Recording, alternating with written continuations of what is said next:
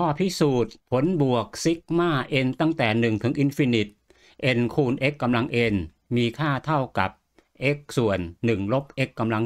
2 x มีค่าระหว่างลบ 1 กับ 1 เริ่มต้นจากสูตรผลบวกอนุกรมเลขาคณิต หาอนุพันธ์ทั้งสองด้าน อนุพันธ์กับซิกมาสลับที่กันได้ อนุพันธ์ตัวนี้ n คูณ x กำลัง n ลบ 1 อนุพันธ์ตัวนี้ก็ 1 ส่วน 1 ลบ x กำลัง 2 n เริ่มต้นที่ 0 ทิ้งไปเอาแค่เริ่มต้นที่ 1 เพราะฉะนั้นผลบวกที่เราต้องการก็คือเอา x คูณตลอดได้เป็นซิกมา n ตั้งแต่ 1 ถึงอินฟินิต n คูณ x กำลัง n เท่ากับ x ส่วน 1 ลบ x กำลัง 2